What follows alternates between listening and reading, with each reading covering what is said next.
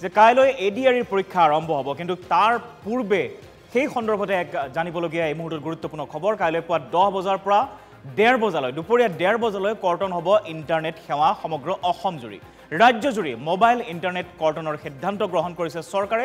তৃতীয় বৰ্গৰ নিযুক্তি পৰীক্ষাৰ বাবে সমগ্ৰ অসমতে কাইলৈ কৰ্তন কৰি দিয়া হ'ব ইণ্টাৰনেট সেৱা। বন্ধ থাকিব mobile internet mobile data mobile wifi সেৱা।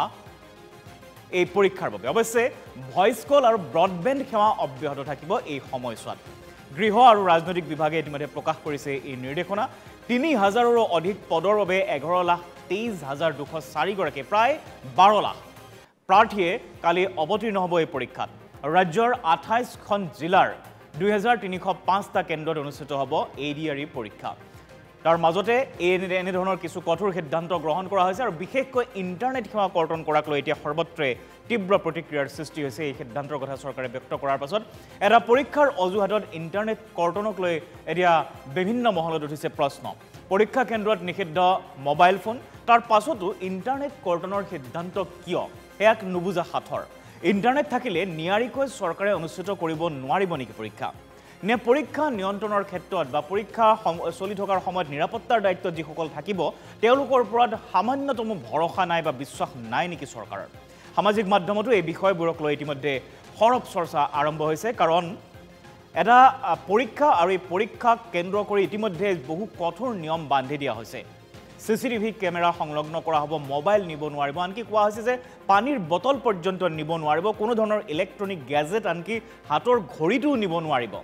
তেনে পৰিস্থিতিত ইণ্টাৰনেট সেৱা কৰ্তন কৰাৰ সিদ্ধান্ত কিয় ল'লে তাকে লৈ স্বাভাৱিকতে চৰ্চা আছে। আৰু এই ইণ্টাৰনেট সেৱা কৰ্তন কৰা হৈছে ঠিকেই কিন্তু ইণ্টাৰনেটৰ ওপৰত বৰ্তমান সময়ত এই সময়ত এই আধুনিক সময়ত ইণ্টাৰনেটৰ ওপৰত নিৰ্ভৰ কৰি বহুতৰ জীৱিকা চলি জীৱিকা চলে জীৱিকা উপাৰ্জনৰ মাধ্যম ইণ্টাৰনেট আপুনি যদি চাই বহুতৰ কাইলৈ গুগল পে' বা এনেধৰণৰ ইউ পি আই ব্যৱহাৰ কৰিব নোৱাৰিব এই সময়ছোৱাত। দহ বজাৰ পৰা ডেৰ বজালৈ এই সময়ছোৱাত বহুতেই হয়তো এই অনলাইন যি ট্ৰেঞ্জেকশ্যন হয় এন- অনলাইনৰ জৰিয়তে যিসমূহ ধনৰ লেনদেন হয় সেই সেৱা সম্পূৰ্ণৰূপে বন্ধ হৈ থাকিব কাইলৈ এই সময়ছোৱাত। গতিকে কাৰোবাৰ বাবে হয়তো বহু ক্ষেত্ৰত যথেষ্ট লোকচানৰ সন্মুখীন হ'ব লাগিব।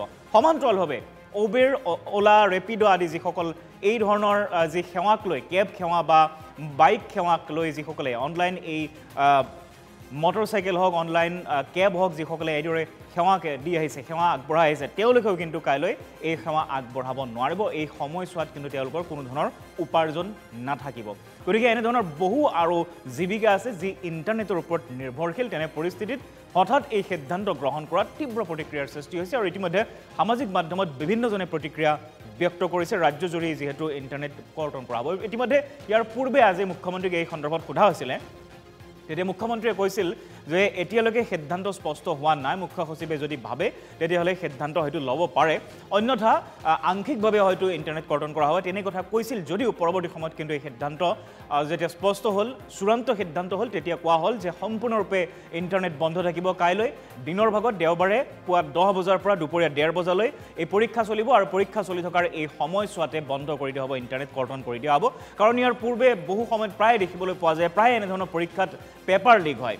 আৰু পেপাৰ লিক হোৱাৰ ভয়ত বা বিভিন্নজনে হয়তো পৰীক্ষাৰ প্ৰশ্ন বিভিন্ন ধৰণে ক্ষমা কৰিব উত্তৰ বিভিন্ন ধৰণে ইণ্টাৰনেটৰ জৰিয়তে বা মোবাইলৰ জৰিয়তে বিভিন্ন প্ৰক্ৰিয়াৰে ইণ্টাৰনেটৰ সহায়ত হয়তো পৰীক্ষাত লিখি থকা মুহূৰ্তত লাভ কৰিব পাৰে।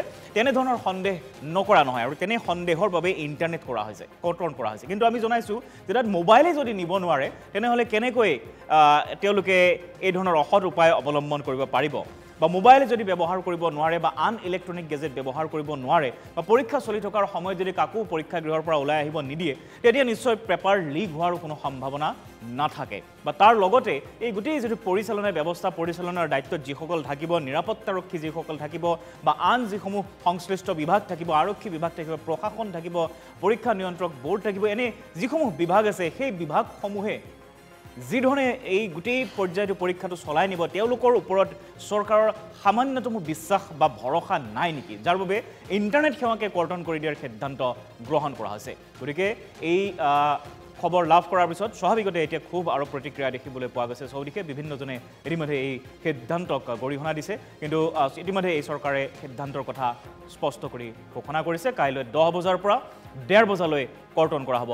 ইণ্টাৰনেট সেৱা অৰ্থাৎ পৰীক্ষা চলি থকাৰ মুহূৰ্তত এই ইণ্টাৰনেট সেৱা সম্পূৰ্ণৰূপে বন্ধ হৈ থাকিব। সমগ্ৰ অসমজুৰি